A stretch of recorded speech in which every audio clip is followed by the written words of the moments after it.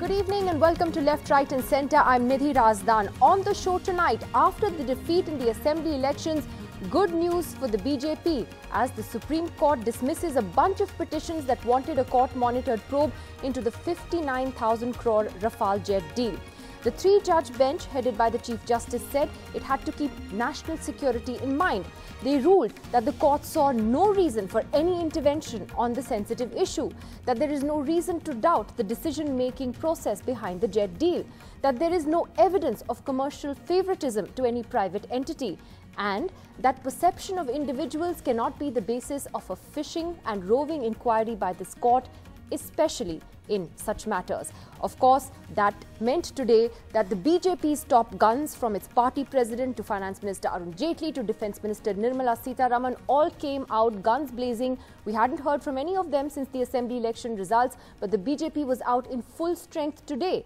Uh, defending the Rafale deal and asking for Rahul Gandhi to apologize. However, the Congress has hit back, saying that they were never a party to this petition in the Supreme Court and that they believe there should be a joint parliamentary probe into the deal anyway, which is something Mr. Jaitley has already rejected. इन्होंने जितनी भी बातें जनता के सामने कही इसका source of information क्या था वो उन्होंने देश को बताना चाहिए आपको इंफॉर्मेशन कौन देता था किसकी सूचना के आधार पर आप इतने बड़े आरोप लगाते थे आपका सोर्स ऑफ़ इंफॉर्मेशन कौन है वो देश की जनता जानना चाहती है राहुल गांधी जी ने उसको बताना चाहिए सब चोर इकट्ठा होकर चौकीदार को चोर चोर बूम लगाने लगे तो जनता कभी नहीं मानेगी कि चौकीदार चोर है।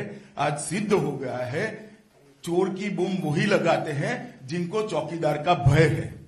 राफेल मुद्दे पर हम सदन में चर्चा के लिए तैयार है। मैं कांग्रेस नेताओं को यहाँ से चैलेंज देना चाहता हूँ कि सारे तथ्य लेकर सदन के अंदर चर्चा करें और चर्चा जितना समय वो तय करेंगे, उतने समय चर्चा करने के लिए हम तैयार हैं। Falsehood is bound to fall a part in deed it has and falsehood always lower the credibility of its creator investigation can never be done and reviews of this kind can never be done when allegation are there by only a partisanly, a body capable of partisan divisions. It has to be done by a judicial body. अब सरकार को हमें यह समझाना है कि ये जो सीएजी रिपोर्ट ये है कहाँ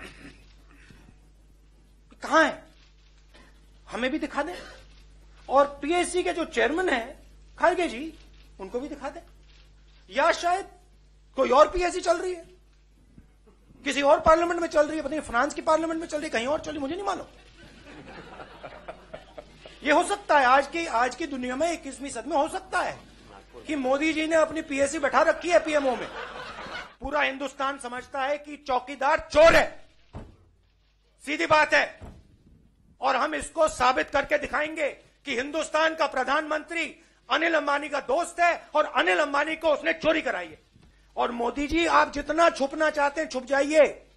आप जितना भागना चाहते हैं भाग जाइए। आप नहीं बच सकते।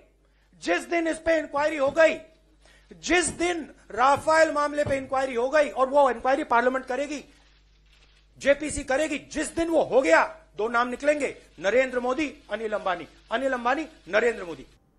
Well, joining us on NDTV this evening, we have uh, defense analyst Ajay Shukla, who's written uh, extensively uh, on this issue from the BJP spokesperson Shaina NC and Priyanka Chaturvedi uh, from the Congress joining us as well uh, shortly from now. Uh, Ajay Shukla, to you first.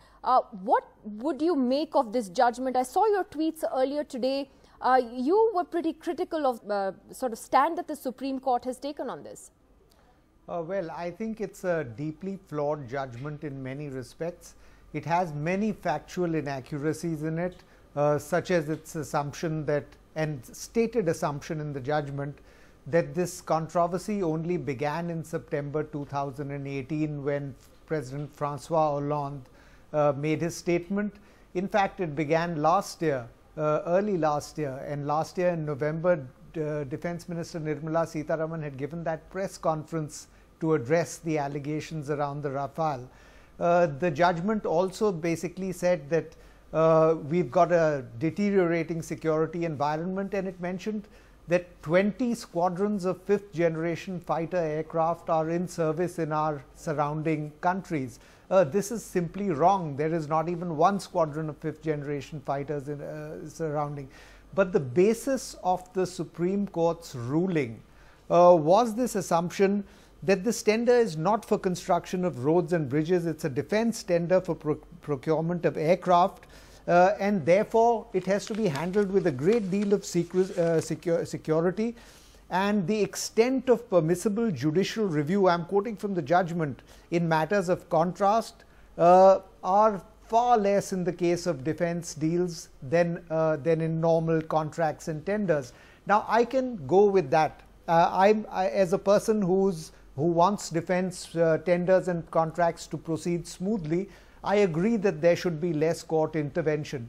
But having said that there's less court, there should be less court intervention, and having uh, in the issue of pricing and so on also expressed a reluctance to examine it in greater detail, the Supreme Court then goes ahead and rules and effectively rules for the BJP government and against these petitioners who have uh, who are not uh, I might add from the Congress party they are individuals acting in their own right. But the ruling having said that it is reluctant to intervene it comes up with an unambiguous ruling the Supreme Court. Uh, and in that I think there's a serious problem Okay, well, uh, uh, you know, uh, I, I, will look at various aspects of the ruling also with you in some detail. Ajay, the political fallout uh, of this, though, is very significant because this has been Priyanka Chaturvedi, one of the key sort of Congress slogans throughout the campaign in the assembly elections. Chaukidar chor, hai, which is what Rahul Gandhi kept repeating. The Congress today says that, look, this doesn't take away from what we have been saying. We were not a party to taking this to the Supreme Court, uh, but it is effectively a clean chit by the Supreme Court, and in turn, doesn't that dent the entire uh, politics around the Rafale jet deal?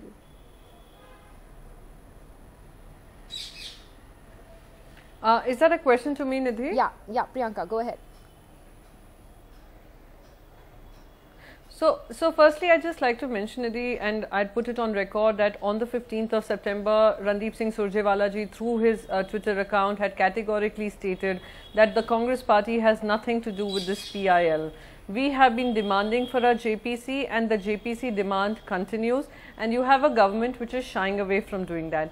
Either the government has to come forward and say that they do not believe in the parliamentary practices, they do not believe in the constitutional authority of the parliament or they do not believe in the parliamentarians to do a decent enough job to investigate something which concerns national security and the taxpaying nation's interests. So the question here is as to what the Supreme Court conclusion is. The Supreme Court conclusion says, we however make it clear that our views as above are primarily from the standpoint of the exercise of the jurisdiction under Article 32 of the Constitution of India which has been invoked in the pre present group of cases.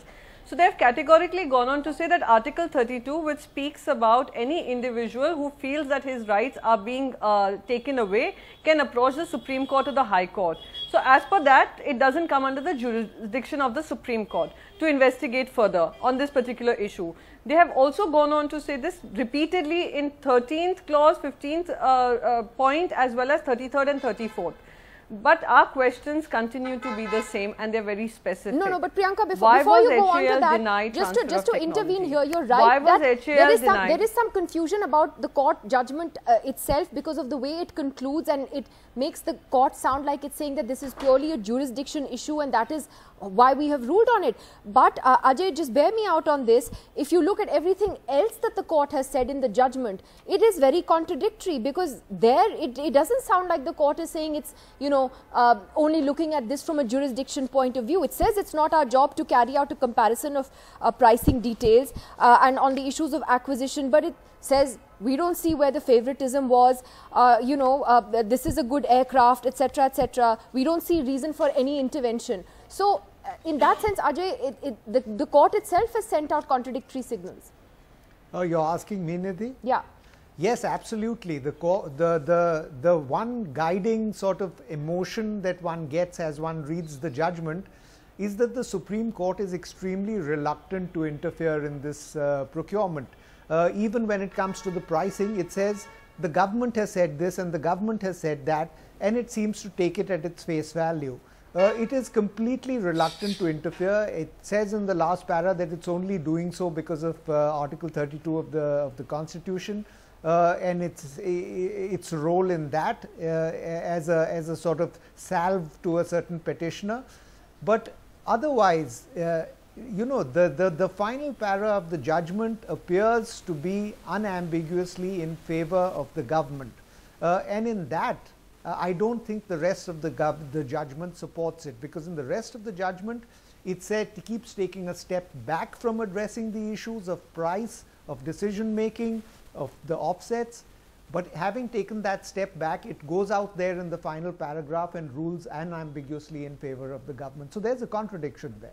Well, uh, Priyanka, before I get to back to you on, on, on the various reasons the Congress is still pursuing this, let me get Shaina NC in on that because Shaina, uh, it, it, was interesting to see today the top BJP leadership and understandably so, this is a verdict that's gone in the, in the government's favor, came out today in full force. We haven't seen them for a few days after the assembly elections.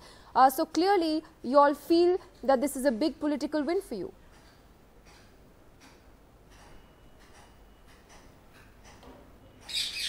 Well, you can view it that way. I don't want to view this as any kind of victory. Uh, this is more important, a fight for truth, and that truth has been unveiled.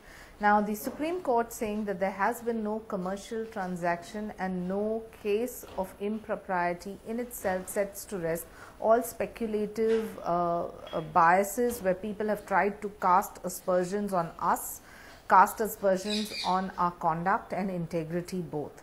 Now, if you call uh, a particular Prime Minister of this country uh, Chaukidar Chor hai, and this kind of unsubstantiated, baseless, sensational commentary, I think the people of this country also wanted to know what is the factual truth. And let's not forget, Nidhi, one of your colleagues, uh, Smita Prakash, in her interview of A ANI with the Dassault CEO, he clearly stated how the offset clause was set in, what the priorities of Dassault as a company were, and that there was no influence or no interference by the Indian government vis-a-vis favoring anyone or the price of Rafale. So I want to just say you may have had a Bofors and uh, you know uh, uh, um, Michel coming to India and testifying on a huge kickback given in the Agusta deal, but this is not the philosophy of the BJP, will never be and we have nothing to hide. So unsubstantiated allegations and demand of a JPC are not going to be a trap we're going to fall into because you have all the facts in the public domain in the highest court of the law land and then you're questioning the integrity of the Supreme Court.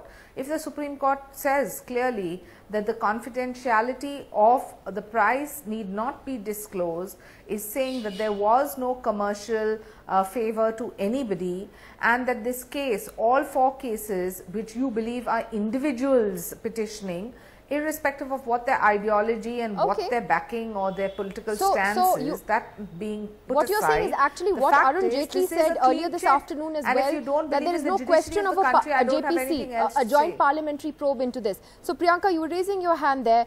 Uh, in a sense, does uh, the BJP have a point in that if the Supreme Court of India says that there is nothing in this, uh, why ask for a JPC?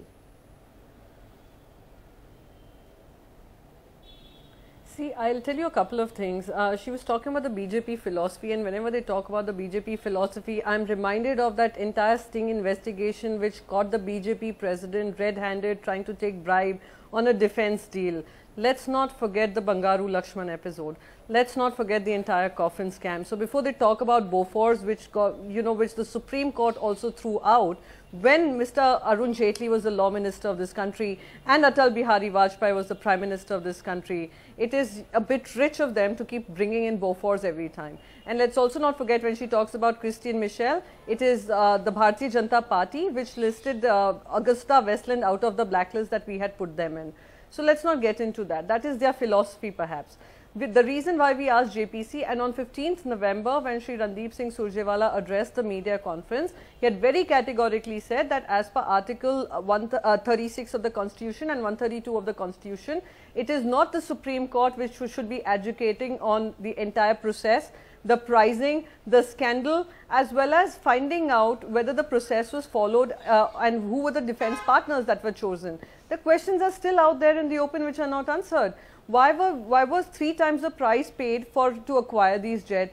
Why is it that 126 aircraft that was the need of the Indian Air Force reduced to 36? Why was HAL not given the offset contracts benefit? Why was transfer of technology uh, uh, not come uh, did not come to India? Why was it uh, you know uh, shelved?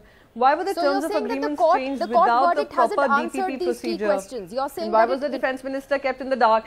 And most importantly, the government to government contract that they have been talking about and shouting from the rooftops is also a dud. Because what you've got is a letter of comfort and which is in no way can hand uh, can uh, you know uh, be legally under any uh, bind any country to this entire contract. So what does a le le letter of comfort do Okay, for this wait, so- nation? so You've Priyanka, one second. I- so I- want to ask Aj- Ajay in, in about the political but you- fallout of this all you have well. is a letter of comfort. Now, so uh, uh, Ajay, you know, there may be questions that the Congress says are still out there. You have your doubts, you have your questions that you believe need to be answered as well. But having said that, politically, Firstly, there was a lot of debate about whether Rafale, as a political issue really resonated with people even in the assembly election campaign. If you remember, we talked about this a lot, that unlike Bofors, it didn't have the, perhaps the same kind of resonance, uh, may, uh, you know, on the ground where maybe bread and butter issues mattered more. Uh, but now when people hear what the Supreme Court has said, uh, you know, they look at it and say, okay, ye to, matlab, isme kuch hai nahi. They may not go into the sort of minutiae of, uh, you know, pricing, etc. What do you think?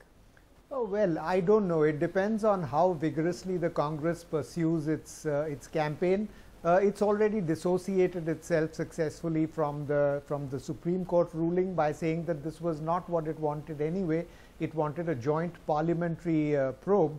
Uh, and the job, the ruling of the Supreme Court, where it says it is certainly not the job of the court to carry out a comparison of the pricing details in matters like the present, uh, it also seems to imply that it perhaps it would be somebody else's job, perhaps it would be the CAG's job, perhaps it would be the job of a joint parliament, parliamentary probe if ever uh, one is one is actually uh, uh, sort of constituted.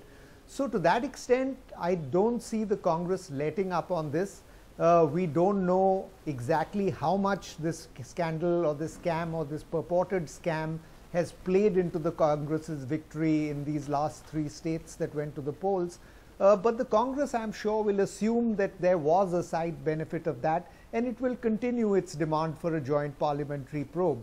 Uh, it also needs to be remembered that you know uh, a lot of the arguments that the Congress has been making, which is that why has the deal been reduced from 126 aircraft to 36 aircraft, are actually supported by the Supreme Court judgment, which says that there's a very adverse security situation.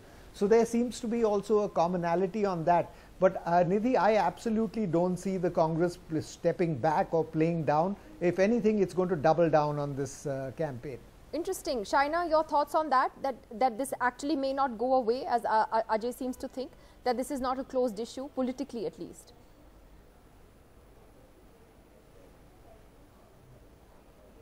Double down on what, Nidhi?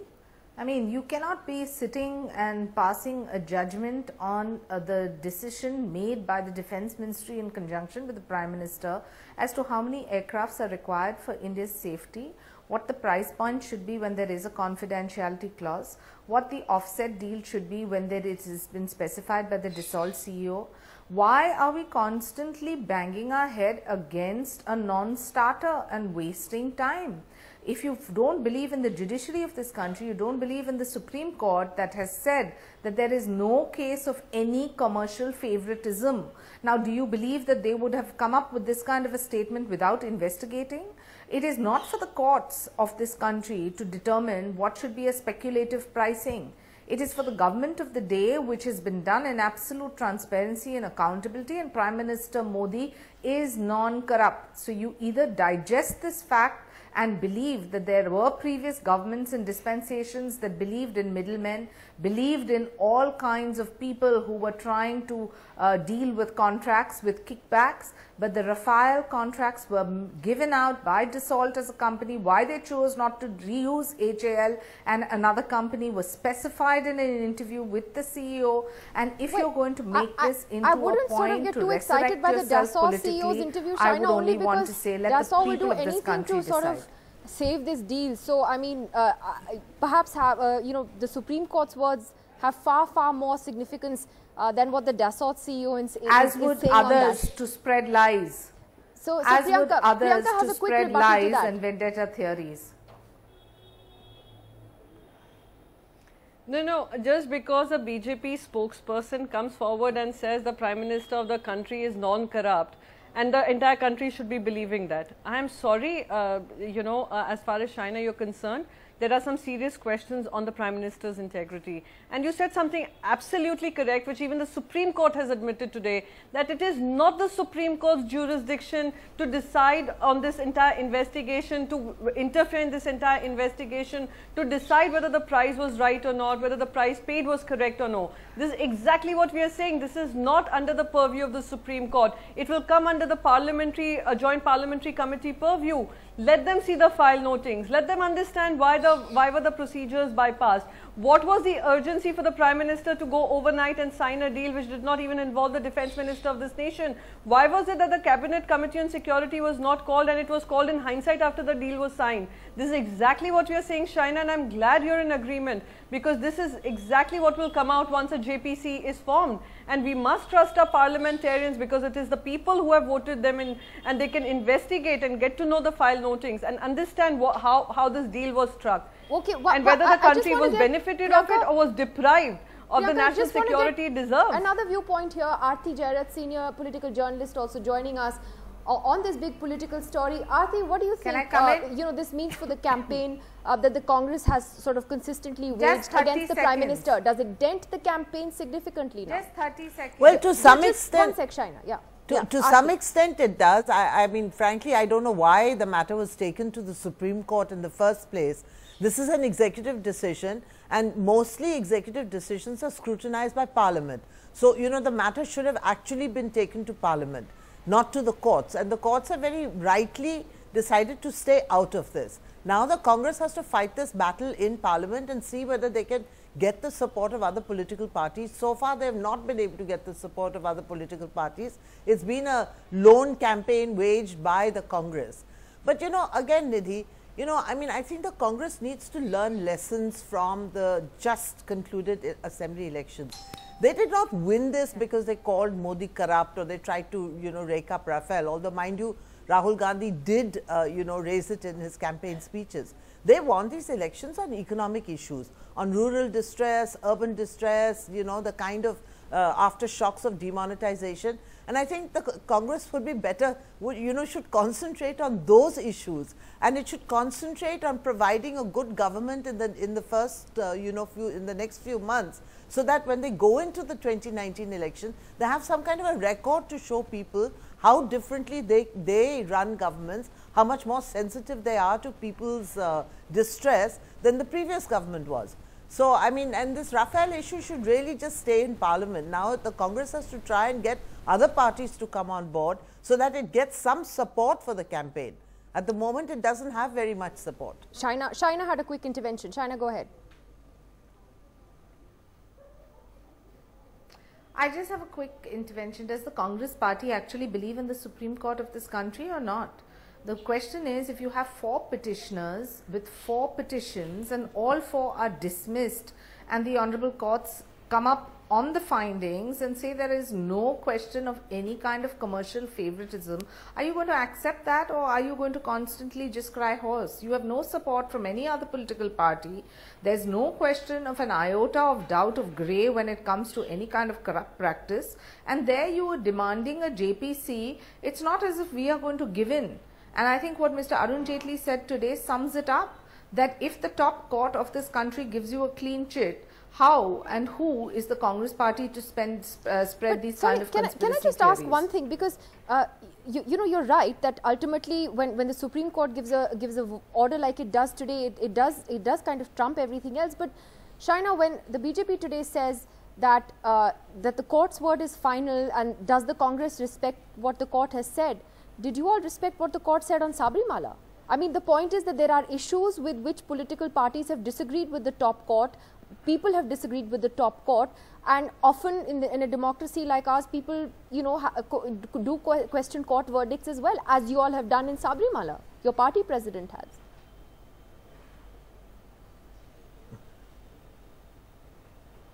Well, all I want to say is that there are lots of serious issues that need to be discussed in Parliament. Let's focus on that and get the job done. As far as the Rafale verdict is concerned, whether it's a setback for the Congress or not is for you to uh, term in terms of uh, headlines that the journalists would want to do. As far as we are concerned, there's no question of victory or defeat. It is lies versus truth, and that truth has prevailed, and that's all we need to show and all we need to say. Well, uh, uh, uh, Priyanka, I just want to ask you all, now that Arun Jaitley has said no JPC, no way, we're not going to give in on that. What does the Congress do next?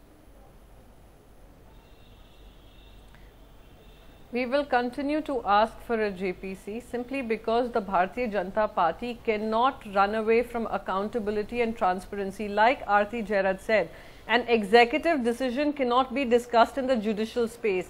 An executive decision will be discussed on the floor of the parliament. And this is what we are seeking. We have been talking about ever since the entire uh, deals, uh, the entire Rafale deal came to the limelight and how there were favors given, favors received in order to get this deal cleared overnight by changing the entire terms of agreement. The country has realized that corruption has happened.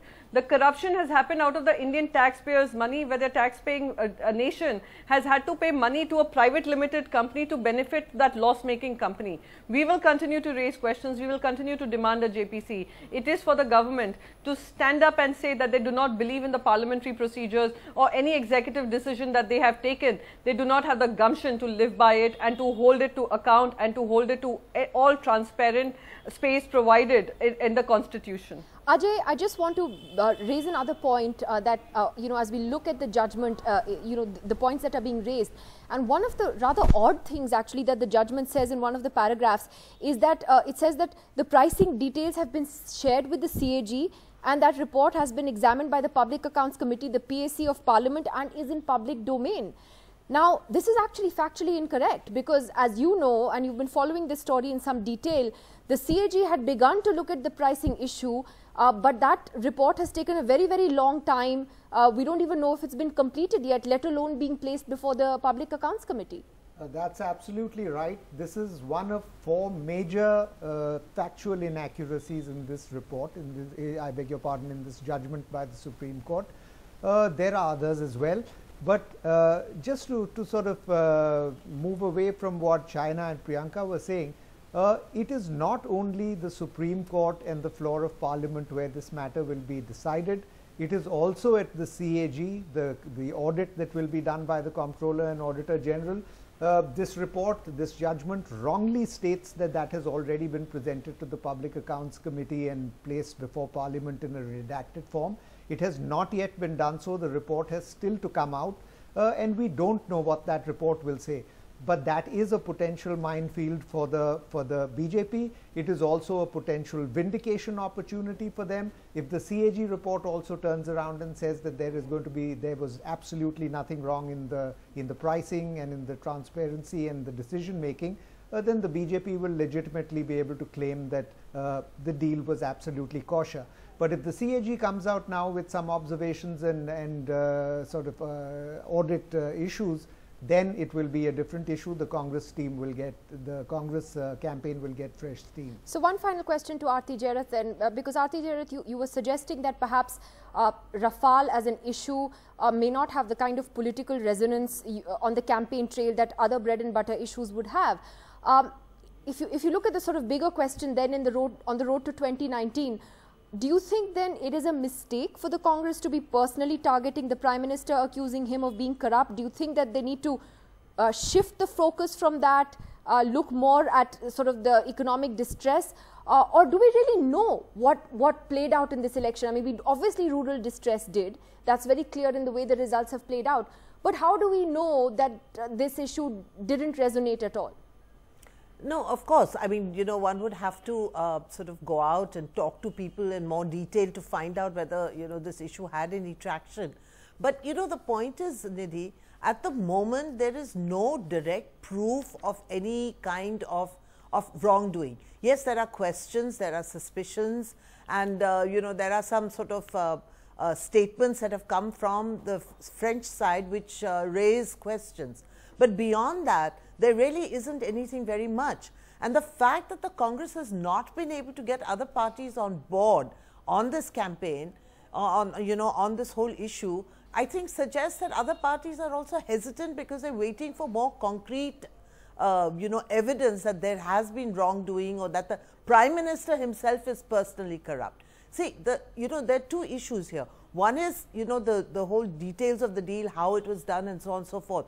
But can you lay the charge of corruption at the Prime Minister's doorstep and say that the Prime Minister was personally corrupt in this? I think that is at the moment a little far-fetched. And I think, you know, it seems more like, you know, the Congress wanting to pay back the BJP for the entire Bofors episode in which Rajiv Gandhi was, uh, you know, targeted and his uh, reputation was tarnished. Priyanka, quick word on that. Is there an element of truth in that, that when Rahul Gandhi is calling Prime Minister Modi corrupt, what is the evidence to back that up? And that can politically backfire for you all if you don't have the proof. No, no, there is ev evidence galore only if uh, the Bharatiya Janata Party is willing to look at it.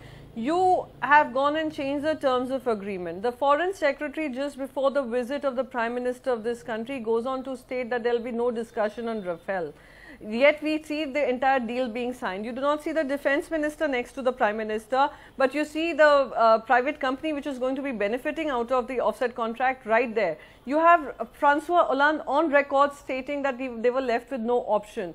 You also have several other dealings with the Reliance group, the Anil Ambani group, which goes on to say that favors were given and favors were sought.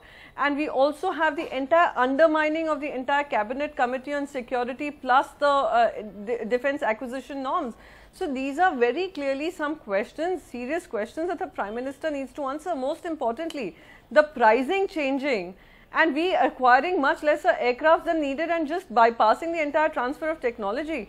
I think there are huge questions which need to be answered and there are huge case of corruption as far as the Prime Minister himself is concerned and his own uh, credibility in this particular case is concerned. Well, well, I think that is going to be uh, politically a challenge for you all to prove that, especially after the Supreme Court's verdict today. But it's anyone's guess how this actually then plays out politically over the next few months. Thank you to all of you for joining us on today's big political story.